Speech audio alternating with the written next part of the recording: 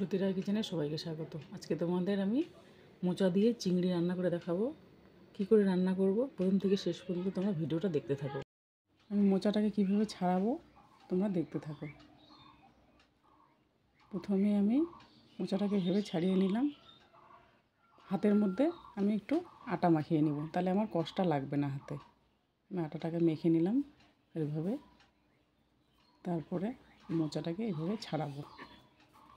মাঝখান মাঝখান থেকে কাঠিটাকে বের করে নিলাম। এভাবে এভাবে ছাড়াবো মাছ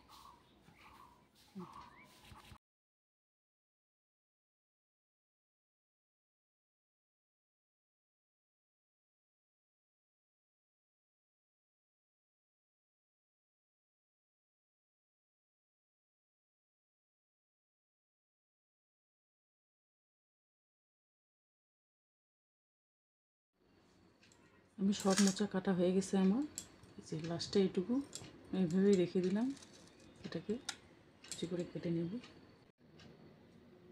এইভাবে আমি সব ঝিরি ঝিরি করে কেটে নেব।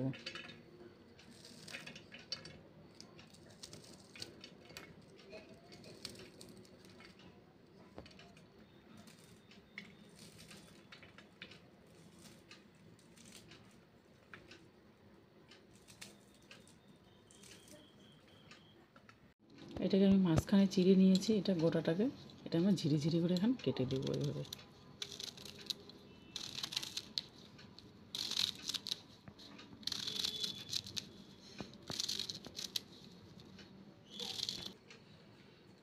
আমার মোচা কাটা হয়ে গেছে, এটাকে আমি সেদ্ধ করব মোচাটাকে।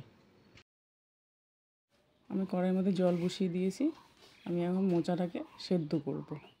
সেদ্ধ করার জন্য মোচাটা দিয়ে দিলাম।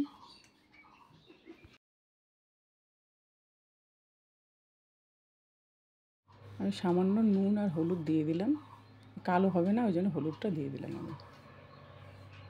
এবার একটু নাড়া দিয়ে দিলাম, হলুদটাকে মিক্সড করে।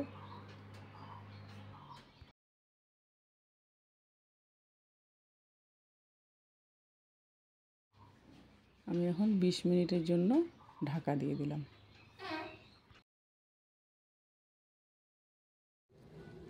আমি দশ পনেরো মিনিট পরে চলে আসলাম।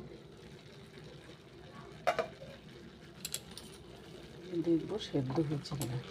জলটা অনেকটা শুকিয়ে গেছে, সেদ্ধ হয়ে গেছে। সেদ্ধ হয়ে গেছে, আমি এখন এটা নামিয়ে নেব।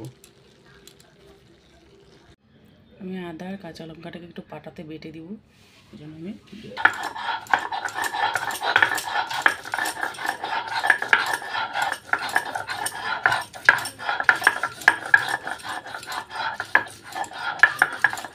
মশলা বাটা হয়ে গেছে আমি এখন নামিয়ে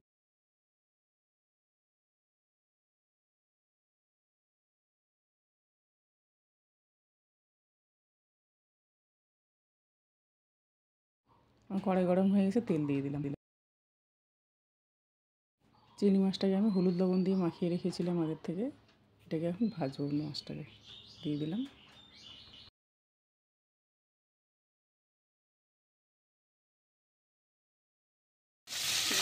ভাজা হয়ে গেছে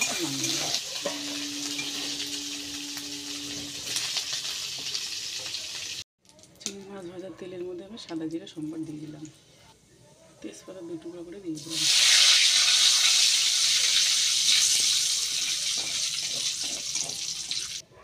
আলু টুকরো করে রেখেছিলাম, দিয়ে দিলাম।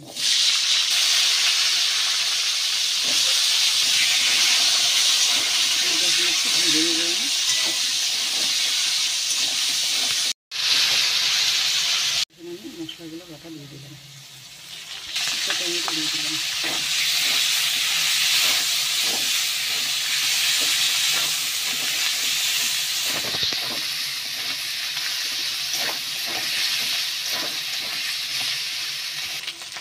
একসঙ্গে জিরা গুঁড়ো দিয়ে দিলাম জিরে গুঁড়ো একসঙ্গে দিয়ে দিলাম লাল লঙ্কার গুঁড়ো হাফ চামচ দিলাম একটু জল দিয়ে আমি একটু মশলাটাকে কষিয়ে নেব।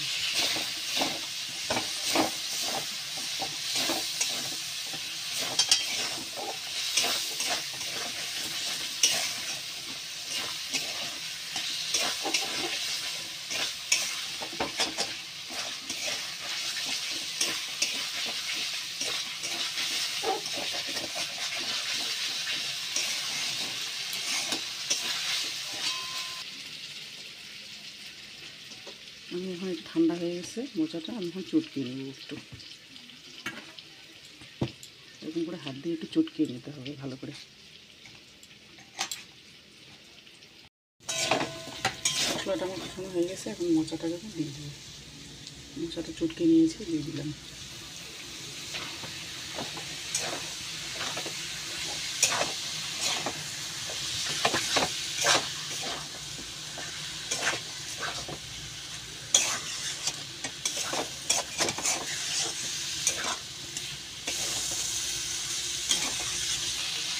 আপনাকে নুন দিয়ে দিলাম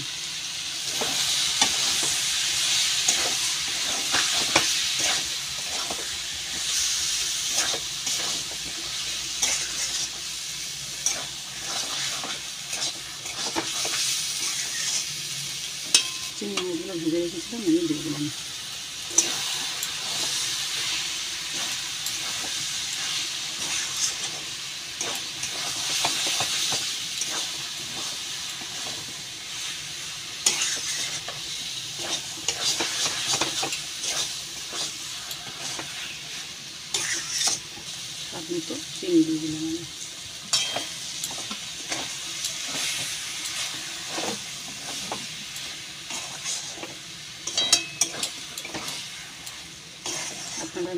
দিতেও পারেন আর নাও দিতে পারেন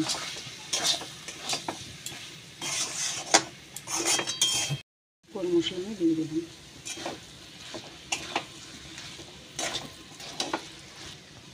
অল্প করে ঘি দিয়ে দিলাম